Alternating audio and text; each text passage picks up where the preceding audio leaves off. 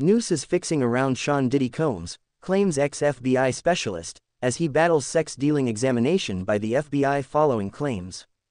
Welcome viewers to my channel, please subscribe, like my video and turn on notifications so you don't miss our next update.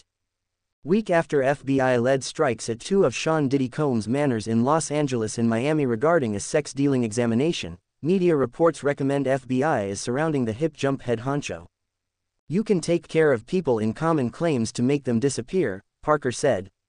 However, that doesn't work in a sound criminal examination, particularly on a government level with regards to sex dealing charges.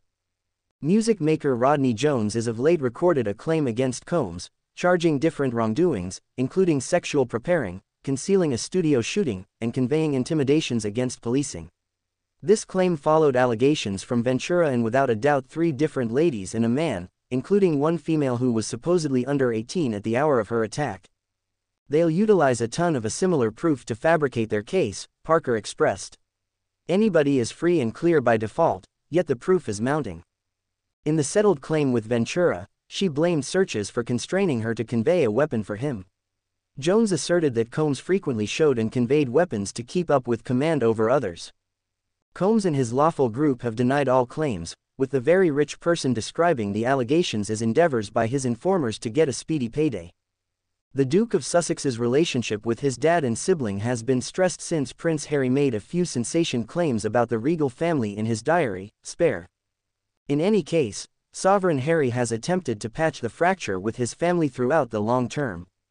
In Spare, Harry describes how he organized to meet Charles and William at Frogmore Bungalow after their granddad, ruler Philip's burial service he was left holding on until Charles and Sovereign William at long last shown up, and he noticed that they didn't look blissful.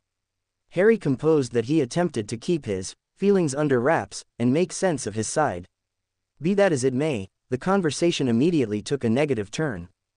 I'd promised not to allow this experience to revert into another contention. However, I immediately found that it no longer had anything to do with me, Harry composed. Dad and Willie had their parts to play, and they'd come prepared for a battle. Each time I wandered another clarification, began another logic, either of them would remove me. Harry asserted that his sibling hindered him on numerous occasions. This prompted a warmed contention between the two siblings.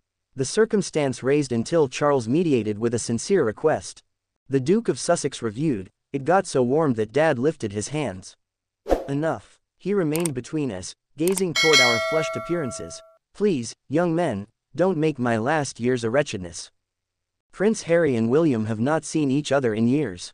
The last time Harry met with his dad was in February, when the ruler was determined to have disease.